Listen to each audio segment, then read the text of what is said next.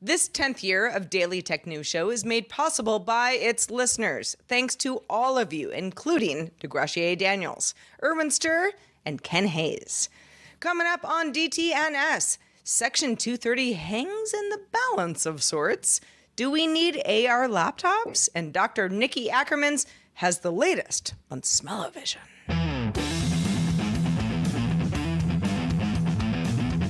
This is the Daily Tech News for Thursday, May 18th, 2023.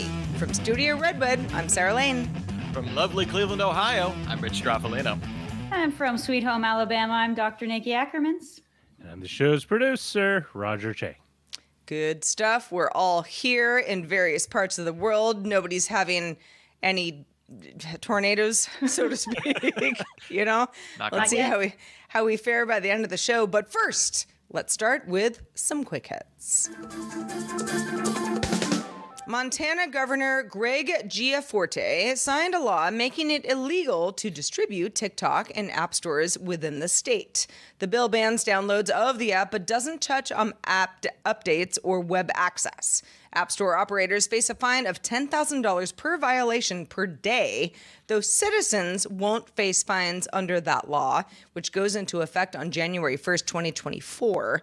And even after that, people in Montana can continue to use TikTok if they already have it on their devices. TikTok says it will fight the ruling, but didn't announce definite plans for a lawsuit.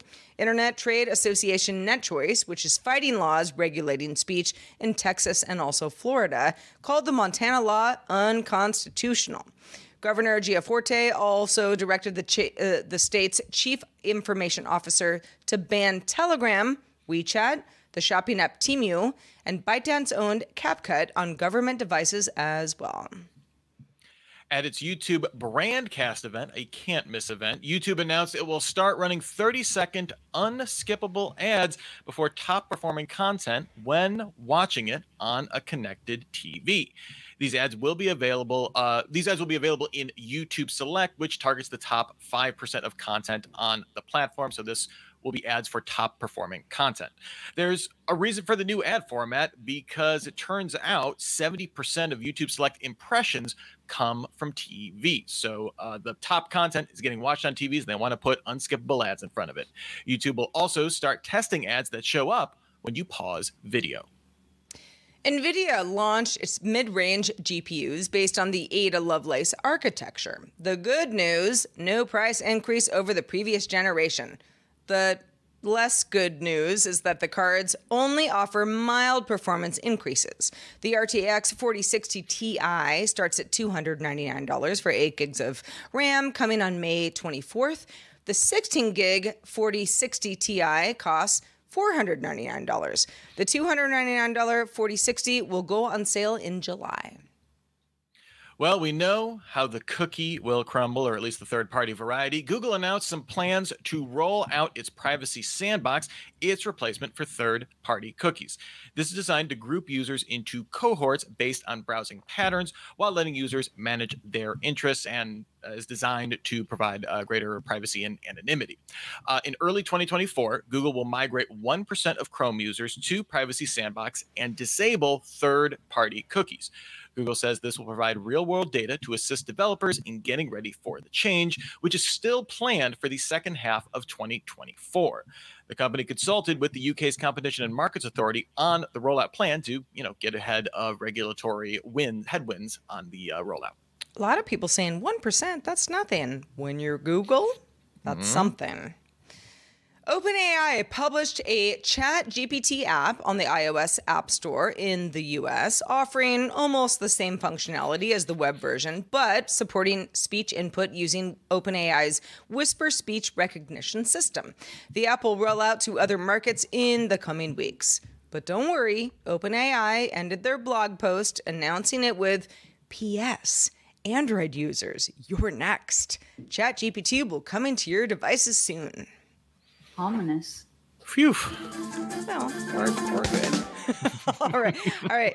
Let's talk politics. Uh, the U.S. Supreme Court issued its rulings in two cases that affect Section 230.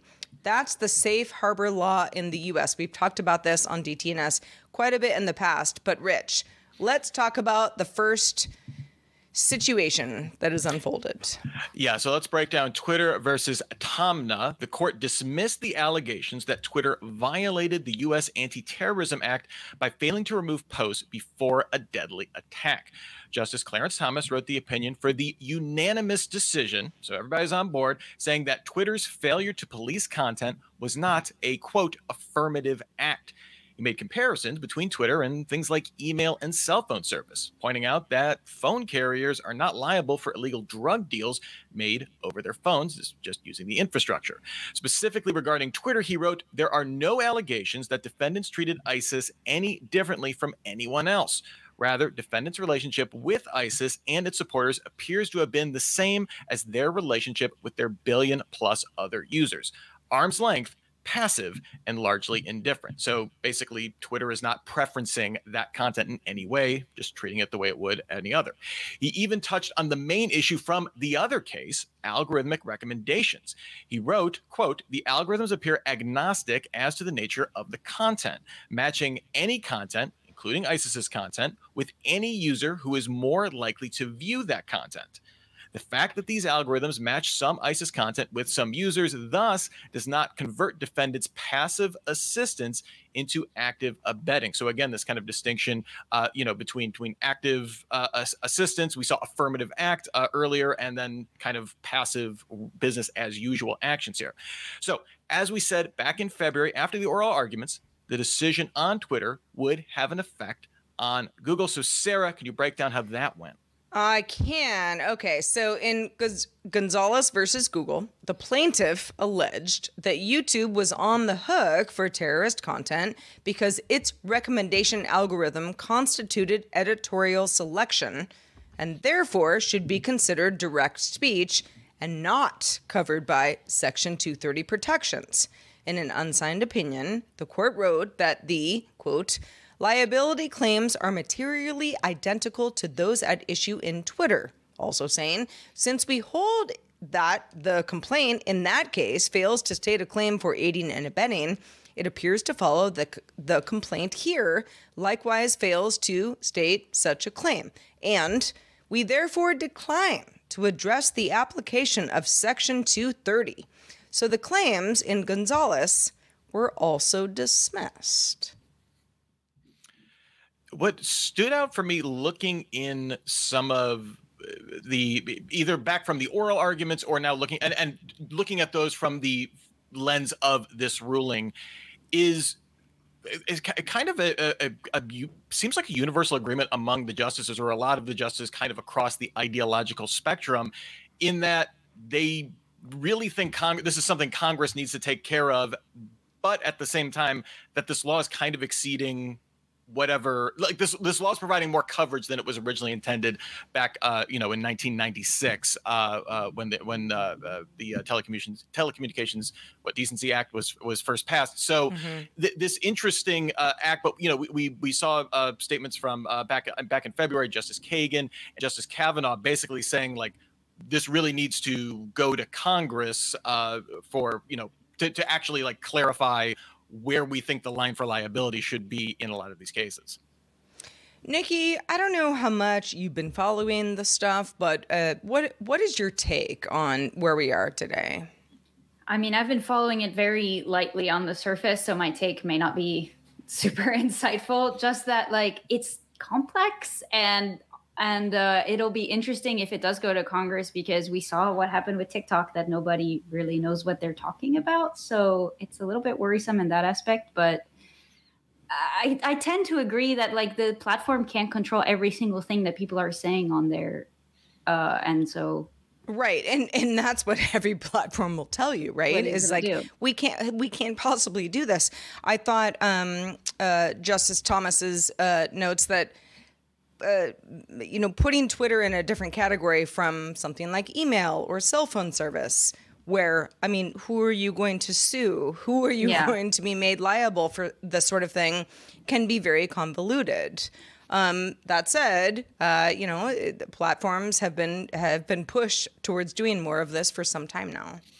Yeah, this this doesn't uh, uh, undermine 230, but it really just sidesteps the issue and and really points the the finger. The fact that like we don't know what to do. Yeah. Well, it, it's interesting in in the in the first case, the the Twitter versus Taamneh case, in that they basically say like using the infrastructure of these platforms does not constitute active abetting, right? So like it sets a Yeah. very high bar for being like you have to sh- if you're going to sue, especially under the U.S. Anti-Terrorism Act, you're going to have to show that there was some sort of uh, beyond just alg- you know beyond just uh, uh, uh, recommending content or using their services to say that it, it's not enough for a failure of moderation, right? For this for this content to be available, it's more that it has you know there there has to be something beyond that, something more active. Uh, I think Justice Thomas was very clear on that.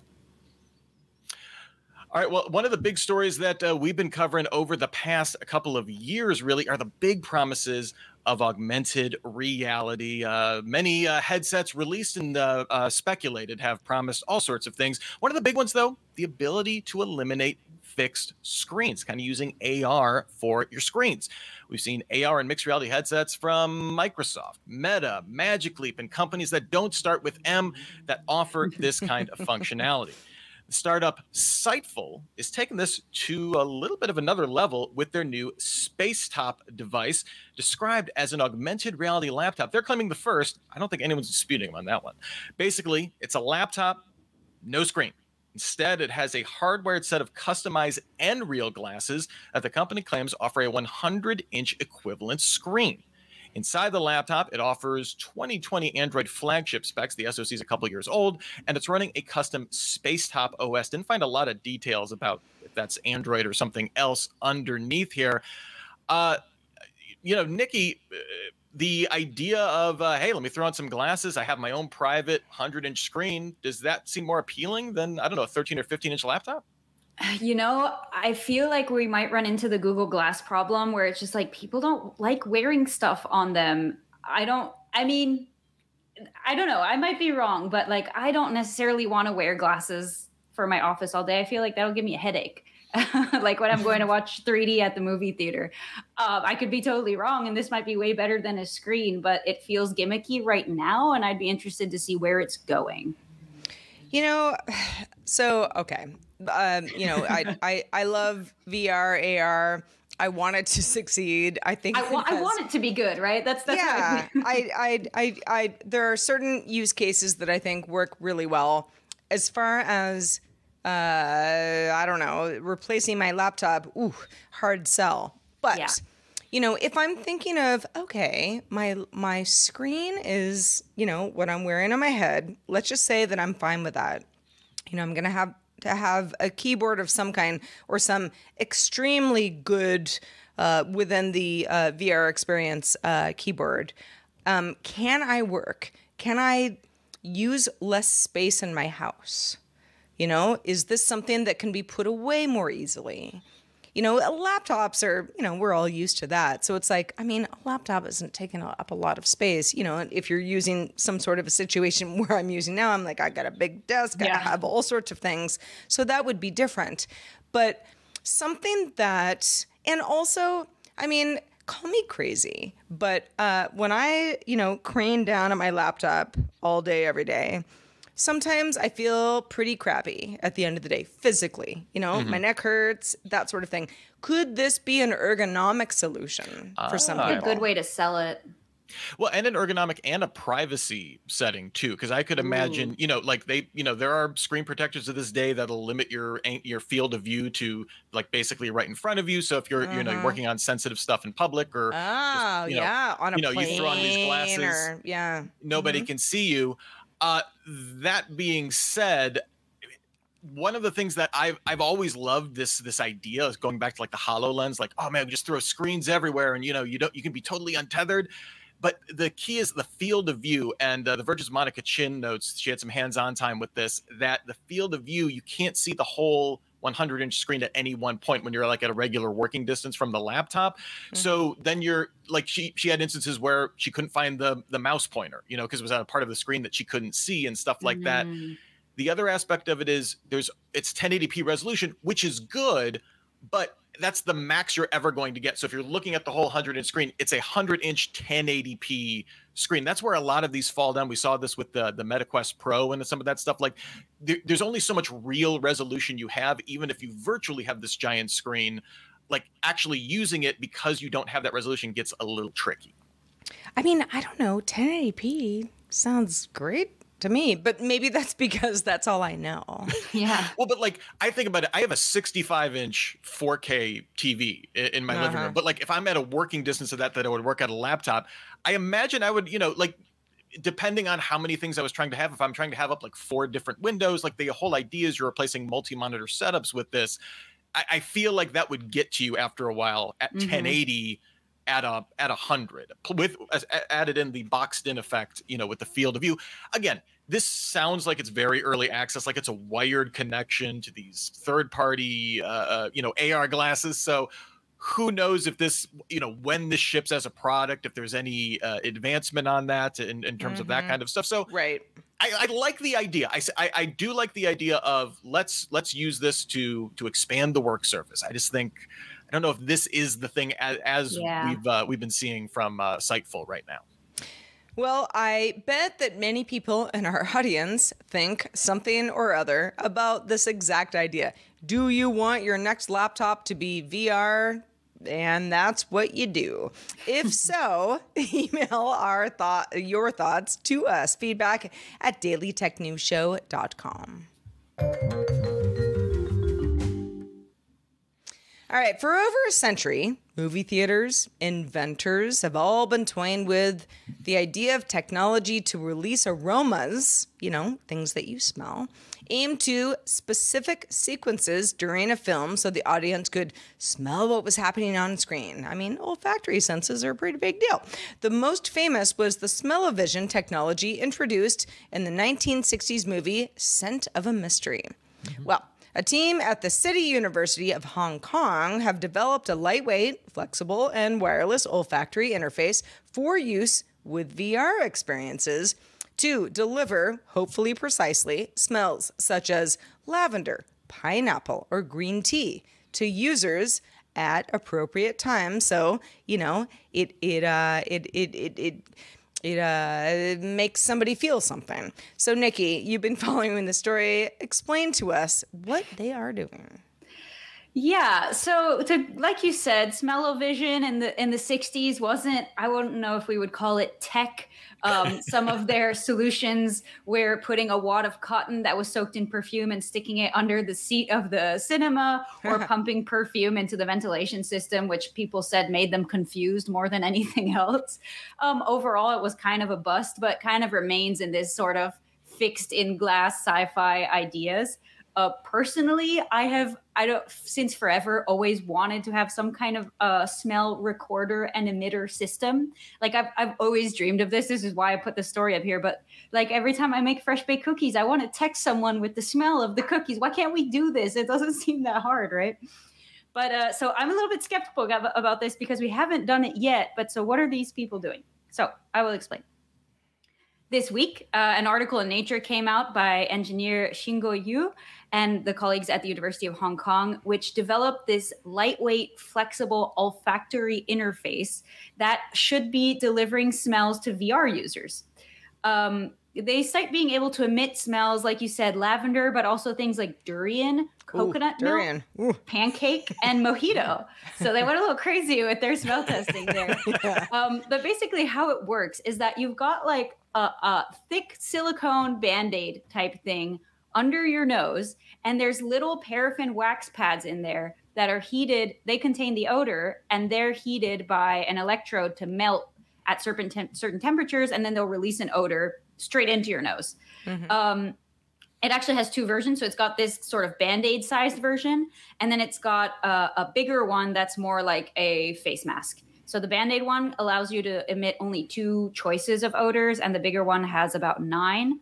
And they say that you can combine all these odors separately into about 30 different smells. I don't know what happens when you combine durian and coconut milk, but I don't know if I want to know. Magic. um, So, Yeah. so, so, Niki, I mean, hearing all of this, I'm like, this is interesting. You know, I Uh-huh. mean, sense of smell for many of us is like, ooh, that's how you remember a memory. Yes. You know, that's you know, that's that's how you were catapulted back to 10 years ago at a certain time where you were driving down the road, you know, it- like so so so what is the goal? they have a one of their main goals is selling it as VR. Uh, they do try to broaden it out, and they say we could try and use this for applications that involve evoking emotions, like you said, uh, which is deeply connected to memory in the hippocampus in the brain. And I actually covered this in my last class, so I'm like all up to date on it right now. But uh, they're suggesting this as an aid for depression. Um, For Oh. example, you know, trying to evoke positive memories to see if that would do anything. Uh, they also said that it could be a great tool for avoiding smelly environments. so if you work at a sewage plant, maybe you could get one of these, stick it under your nose. Um, they also are trying to miniaturize the system and make it about 10 times smaller in future iterations because it is still, I think, from the design right now, it looks really not really practical. like imagine not a something thick you want to silicone wear on your Band-Aid face. Maybe you have to. Yeah, Niki, the face is- mask is okay, but yeah. What does the response time look like for this? Because I know like smell just doesn't like travel the same. Like you know, light we can turn on a light and it's like immediately hitting our eye. Like what? Yeah. Like, how fast does that get around? So they managed to make it quite fast because it's directly under their under your nose. They say it's about a second and a half, which is pretty good. Uh, considering until now, any applications like this have just been like really miniaturized perfume bottles that'll basically like spritz something into your nose, but this is actually melting and releasing odors. They didn't really clarify, but I imagine you would have to replace the paraffin eventually because it evaporates. Um, so looks like again this is kind of just like the ar uh, goggles in the sense that like it seems cool maybe it'll go somewhere i feel like i'd be down to test this but i don't know if we're there yet The- At, at CES they had like uh, I think it was Toshiba had these very interactive uh, uh, like VR suits, right? Where it's like every element, you know, you could have a chest thing and arm thing, so you could feel different, you know, to add that sense of touch. And I could see next year, you know, building on this tech and having having because they already have like this crazy mask and stuff like that, so you can you get uh, face capture and stuff like that too.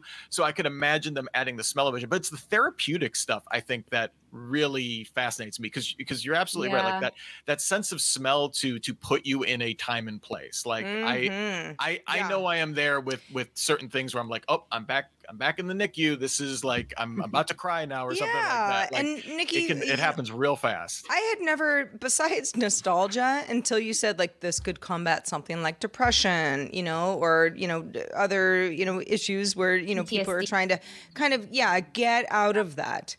This this makes a lot of sense. Um, it you know, makes as- sense i i'd be you gotta be careful with this kind of thing so i'm interested to see where they go with this but yeah interesting Well, speaking of going somewhere, you're going to love this one, Niki. North Carolina based company Pairwise has edited the DNA of mustard greens, engineering them to be less bitter than the original plant. If you're familiar with mustard greens, you might like them raw. Many people say, uh, mm, no, no, no, no. Can't do that. So it's the first CRISPR edited food on the US market. That's that's notable. Pairwise says it hopes that consumers could start choosing something like these less pungent greens over less nutritious options like iceberg and butter lettuce. Not to throw uh, all the other lettuce under Yeah. the bus, but it turns out the mustard greens just have a lot more vitamins in them. So, you know, the Pairwise is saying you should eat more of it. If you don't like it, we're going to help you. The greens will initially be in select restaurants and outlets in the Minneapolis St. Paul region, St. Louis, Springfield, Massachusetts. Pairwise says it plans to bring them to grocery stores this summer. Didn't have a lot of details on that, but said likely in the Pacific Northwest.